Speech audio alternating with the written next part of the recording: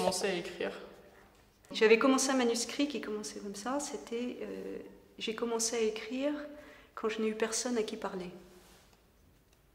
Ouais. L'histoire de se parler à soi-même. Euh, écoute, je sais pas. Maintenant, je le dis là, je me dis est-ce que c'est une forme, tu vois, ça sonne bien, et parfois, est-ce que c'était vraiment ça? Et, Mais en fait, je trouve que c'est très difficile de dire les choses. Dans la vie, on ne peut pas tout dire. Et surtout, moi, l'adolescence, j'ai prouvé ça. Alors que je trouve que dans l'écriture, on peut tout écrire. Et t'aimerais écrire du coup plus tard? Euh, ben, Je sais pas, du coup, comme, comme j'aime pas me forcer, euh, parce que je pense qu'en me forçant, j'obtiendrai rien, euh, j'attends de voir ce qui arrive. Et puis quand j'ai envie d'écrire, j'écris. Quand j'ai envie de dessiner, je dessine. Quand j'ai un truc, un sentiment, et que j'arrive à le poser sur le papier, ben, je le mets. Donc j'ai des petits carnets, puis après, je verrai bien ce que j'en ferai.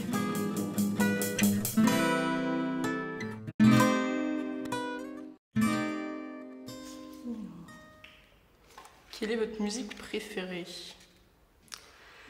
Euh, J'ai écouté Pete Gervais, Radiohead. Je vais prendre 10 ans si tu connais pas les groupes. non, c'est vrai, je connais, c'est moi. Qu'est-ce que tu écoutes toi? Euh, bah, Moi des vieux trucs donc ça va. Mais après en fait euh, quand j'écoute la musique je retiens pas les noms euh, de qui chantent. Du coup je sais que j'écoute bah, Pink Floyd, Radiohead, Oasis, Nirvana, voilà tout. Enfin, Pink Floyd j'avais repéré un peu. c'est ça. Mais après j'écoute aussi des vieux trucs français et quelques trucs récents. J'aime bien London Grammar en ce moment. Hmm. Voilà. Je connais pas. Je connais le. Ouais, c'est très sympa. Ah, ah, Joker. Léa, quelle question joker? Je vais te poser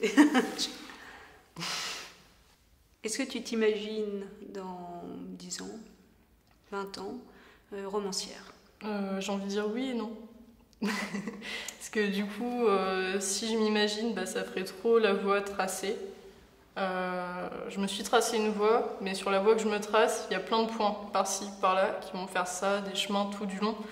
Et du coup, j'ai pas envie de m'imaginer euh, dans le concret. Alors attends, attends, attends, ça, ça t'intéresse. Cette voix, comment tu te l'imagines ta voix? Où tu me dis, je, euh, vois ma voix avec plein de, Et puis plein de points, et sur ces points, à chaque fois, c'est des intersections. Comme un arbre, on commence avec le tronc, et puis les branches qui partent, qui partent, et puis je choisis. Ok. Ouais. C'est très atypique. déjà, c'est intéressant. Quoi.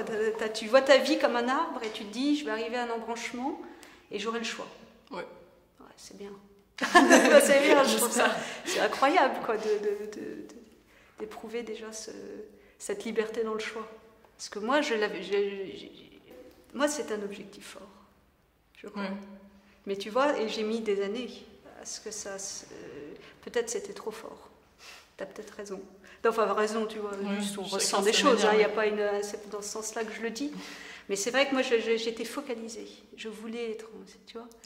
Et à la fois, je pense que c'est intéressant parce que bon, on a intérêt à déterminer quand on veut faire ces métiers-là. C'est un peu dur. Mais en même temps, peut-être c'était trop. Tu vois, on durcit. Tu vois ce que je veux dire? Quand on veut tout, un truc. Et donc, c'est peut-être pour ça qu'il m'a fallu des années pour. pour aller. Au final, tu es arrivé, donc ça va quand même. Euh, mais voilà, je suis curieuse, il faut, qu'on refasse ce documentaire dans 10 ou 20 ans. je voudrais voir quelle branche.